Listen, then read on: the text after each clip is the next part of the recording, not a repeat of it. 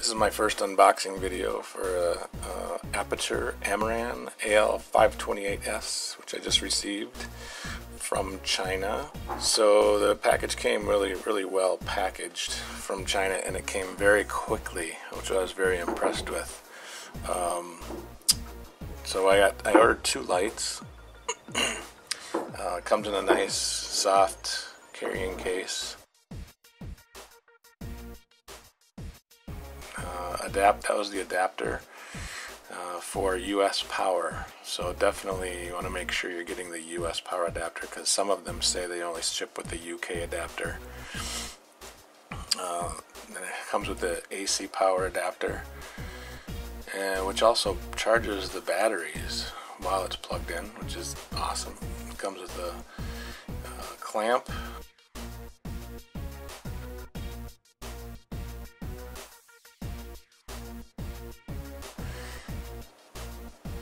course, all the requisite information is included, uh, the warranty card and such. And it's got a indoor gel filter, and then we've got the light itself. And uh, again, well packaged. Everything was nice and tight and looked good. Um, feel the feel is a little plasticky. I guess you could say it's got a knob to turn uh, to turn up and down your intensity. Um, so what I'm doing here is trying just showing how the different filters go in. Pretty basic stuff. Two different attachments so you can put it horizontally or vertically, however you want. Put it on your light stand, which of course it does not come with I and to provide my own light stands.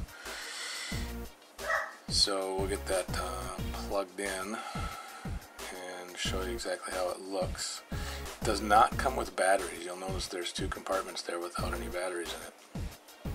So those have to be ordered separately. So get her plugged in, get her turned on,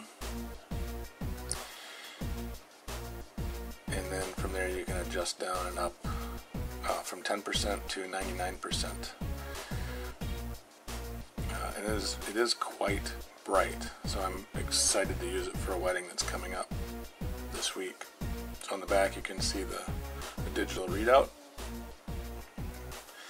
and then of course the green lights were the battery power, but it's there's no battery. So here I ordered some batteries, uh, the equivalent batteries. I think they're Sony batteries, as I recall uh, online on eBay and got them hooked up and plugged in the charger. Uh, here's where I got them from. As you can see, I think they were uh, seven dollars and fifty-one cents for one. So I ordered four. It needs two per light.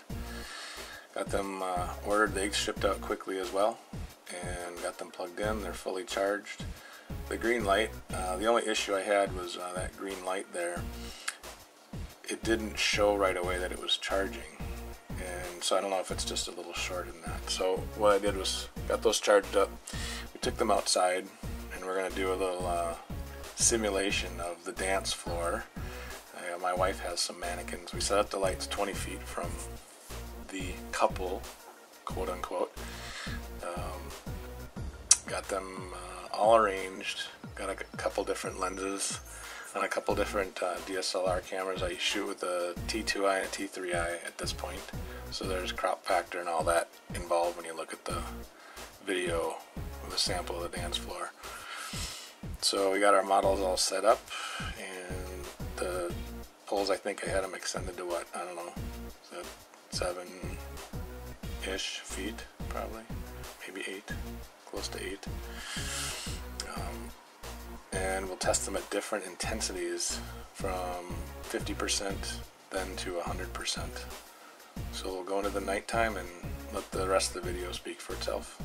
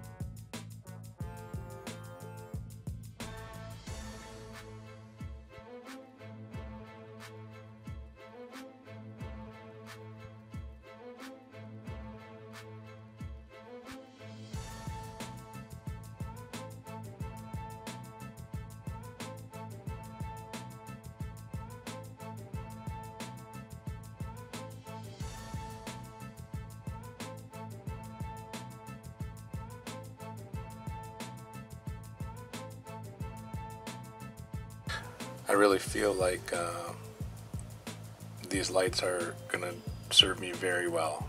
And for the price, they give off really great intensity. Uh, they lasted for two to two and, and a quarter hours each, respectively, because I left them on from the time we started the test till they died. So that was great, and uh, I'm happy with them. Looking forward to using them on uh, my first official wedding this weekend. Thanks for watching.